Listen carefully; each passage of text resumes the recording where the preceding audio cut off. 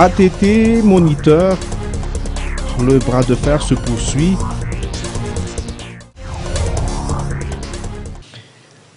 Des pourparlers avec les responsables sont en cours concernant la hausse des droits d'examen pour l'obtention d'un permis de conduire. Selon le syndicat des moniteurs et propriétaires d'auto-écoles de la capitale, pour rappel, ce droit était de 10 000 arrières par étudiant auparavant et aujourd'hui, il est passé à 15 000 arrières par catégorie.